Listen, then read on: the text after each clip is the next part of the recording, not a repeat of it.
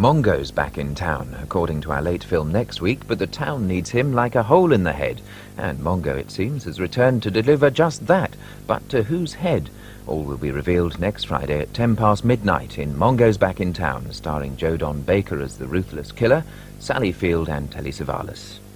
And The Godfather's back on television this Monday at 10 past 10, the complete story adapted for television in five parts, and starring Marlon Brando, Al Pacino, Robert Duvall, James Caan and Diane Keaton. And now our look at the weather. It'll be fairly mild overnight, but windy in exposed northern parts of Britain. The cloud moving south across England and Wales will give occasional rain, especially over hills.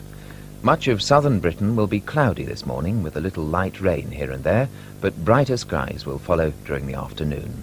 Scotland will have sunny intervals throughout the day, but a few showers are likely in the north. It will again be cool for early August, with temperatures in the sunnier parts of the south up to 20 degrees Celsius, 68 Fahrenheit, but generally in the range 15 to 18 Celsius, 59 to 64 Fahrenheit. And that's our look at the weather.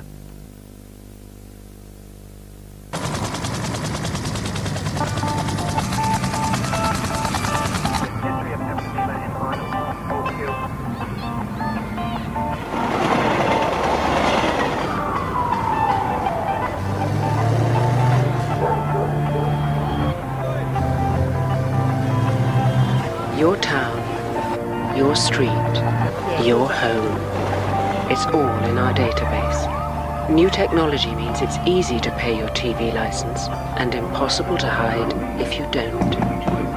It's all in the database.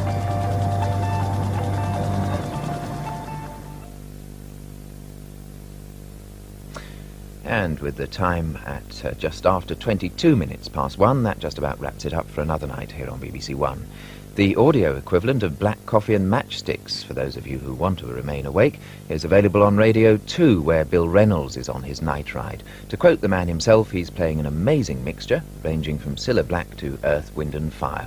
Alternatively, you can hear the World Service broadcasting to Europe on Radio 4's 1500 metre longwave frequency. But from all of us at the Television Centre, this is David Miles wishing you a peaceful night and an enjoyable weekend.